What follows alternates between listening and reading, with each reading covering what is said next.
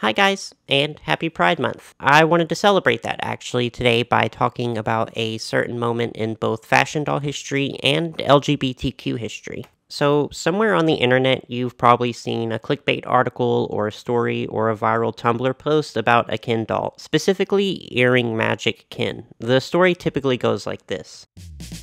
In the early 90s, sales of Ken dolls were declining, so Mattel conducted a survey to determine if they should discontinue Ken or improve him somehow. It was found that girls wanted to keep Ken, but also wanted him to be quote unquote cooler. Apparently, some designers went to raves and took notes of fashion worn by the attendees, mostly flamboyantly dressed gay men, and used those to design their next Ken, the aforementioned earring magic Ken. Earring Magic Ken, introduced in 1993, sports a two-toned, slicked-back hairstyle and a lavender vest worn over a purple mesh shirt and dark high-waisted jeans. His left ear is pierced with a stud earring, and he wears two metal rings for holding charms that can also be attached to a human-sized earring, one around his neck on a necklace and one hooked on the bottom of his vest. Gay men took notice of his resemblance to their clubwear and a certain accessory of his that alluded specifically to gay intercourse and bought the Ken doll in droves, who went on not only to become the best selling Ken of all time, but the best selling Barbie doll in history, despite Mattel discontinuing and recalling the doll six weeks into its run. I really wanted to look into this because I find the story fascinating, but also because as a longtime doll collector, a lot of it just seems very fishy to me, but I knew there had to be a story there regardless. So I grabbed my magnifying glass, climbed into my blue Nancy Drew Speedster, and drove down a little rabbit hole to uncover the actual story behind Mattel's gayest doll.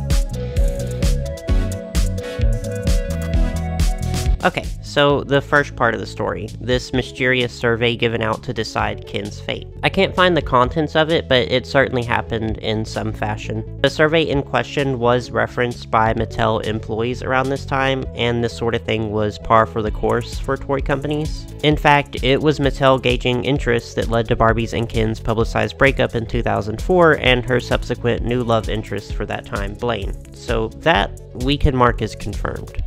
Another part of the story, depending on where you read it, also makes the claim that there was no matching Barbie and Ken was released alone, which added significantly to his gay mystique. That, however, is verifiably untrue. There were three other Barbies and a Midge in the Earring Magic line. Another claim the story makes that I think is at least greatly exaggerated is that Ken is the best selling Barbie doll of all time, despite being quickly discontinued. This seems to come from a misunderstanding of how fashion doll releases work.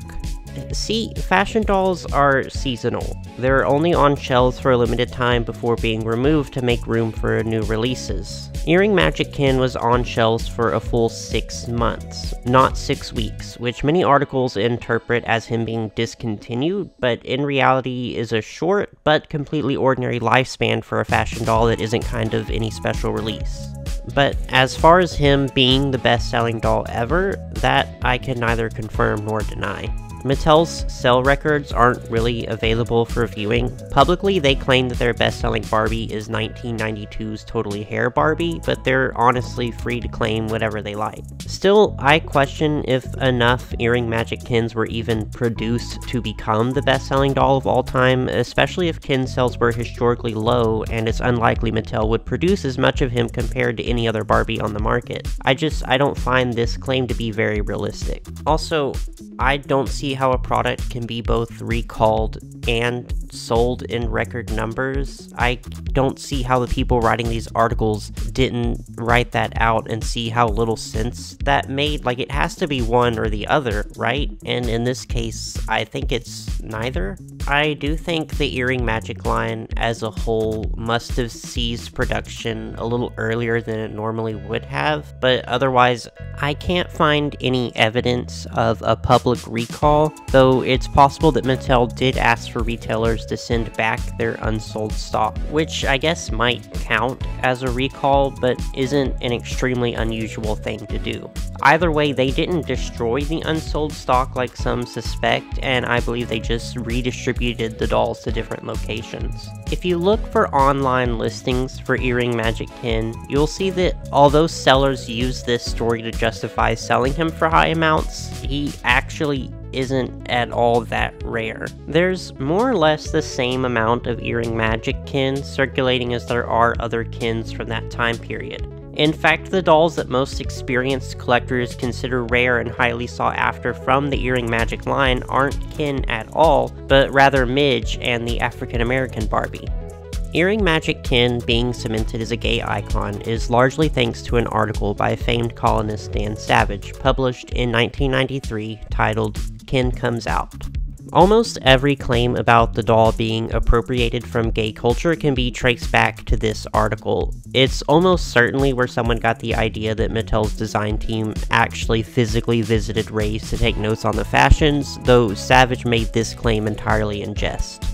Savage focuses less on Ken's overall outfit and more on a specific aspect of it, specifically the metal ring that he wears around his neck. Although the ring was meant to function as a holder for charms that he can wear and swap with Barbie, the article makes the claim that it more closely resembles a certain sex toy that was popularly worn as an accessory in gay clubs and leather culture at the time. According to Savage's article, wearing a ring as a pendant then was compared to wearing something like a leather harness today. Very on the adult side, but so adopted into popular gay street fashion that it had been removed from its original statement and become purely aesthetic.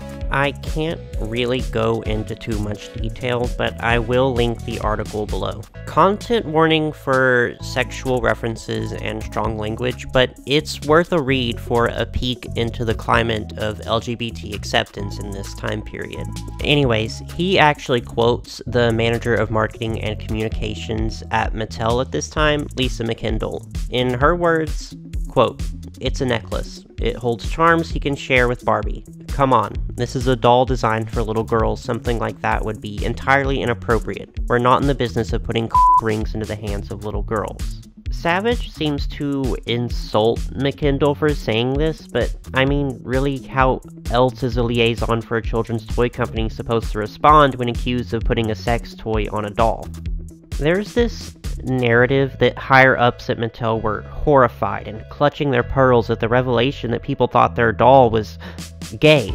But as far as I can tell, they really responded in the most expected way by assuring Ken's heterosexuality to satisfy angry parents and then just let the rest happen and moved on. I mean, they were making bank off of it, apparently, so it wasn't in their best interest to make a huge deal out of the situation outside of a pretty standard denial. For the record, I'm not defending how Mattel acted around this controversy. I've seen some people say that Mattel received letters from gay men who were writing in to say thank you for making a doll that looked like them, and Mattel's response was just to send back a letter saying Ken is straight. Which, although expected and not really going above and beyond in terms of homophobia, still just seems kind of mean spirited to me if that's true. Still, it didn't stop the ensuing controversy from becoming a sort of inside joke within gay circles for years to come. Earring Magic Ken may not be as best selling as touted, but he did secure himself a spot as a kitschy gag gift and a temporary icon in LGBT social circles. The story and Savage's article seem to imply that the designers were completely clueless about Ken's fashion and that they were just copying what was trendy at the time, which happened to be fashions popular within gay social circles. Can we really be sure it wasn't, on some level, intentional, though? Fashion design and doll design are inseparable, and gay men are inseparable from the world of fashion design. While Mattel had its reputation as a wholesome, family friendly company, I find it hard to believe they didn't have a single gay man working on their design team. Gay men and fashion dolls have always been intertwined. The creators of Bratz, Monster High, and one of the most notable designers working for Barbie today are all openly gay men. If Mattel wanted their dolls to be trendy and modern, even in 1993, I can't imagine they were hiring designers exclusively from the local Baptist church sewing circle. Let's be honest though, Earring Magic Ken was not the first or last time that Ken was accused of being gay. It's a joke that literally all of us have grown up with. And if you look at the Kens prior to 1993, they're arguably even more flamboyant. I mean, Summer Sensation Ken is literally wearing a mesh crop top and neon short shorts. He has a fashion pack called City Cowboy. And don't even get me started on Hawaiian Fun Ken. Ken has always been a gay icon. I will say though, in the years following 1993, Ken's fashions get tragically majorly toned down to mostly tuxedos and an inoffensively sporty wardrobe. It's possible that this is a result of Mattel wishing to avoid a repeat controversy, but also possible it's the real result of the aforementioned survey. As Lisa McKendall mentions in the article that they wanted to dress Ken more like the men in the lives of the girls playing with Barbie, their brothers, their fathers, and their uncles. Regardless, it's not as if Mattel was completely ignorant to gay culture. A Billy Boyd designed two Barbies in 1985 and 1986. Bob Mackie has been designing Barbies since the early 90s. Barbie is a very supportive ally. You see, she knows gay people exist. And who's to say there wasn't a gay man working at Mattel in 1992, using inspiration from his own culture to design these dolls and working to bring these elements of gay culture into the mainstream? I'm not saying they would have intentionally designed a doll with a sex toy in mind. Considering the necklace was always meant to be worn with charms and not by itself, it's more likely that particular resemblance was simply an unfortunate coincidence. Either way, I can't really find information about the employees working on Barbie's designs around this time, so I can't confirm this, but I just really find this narrative a lot more fascinating.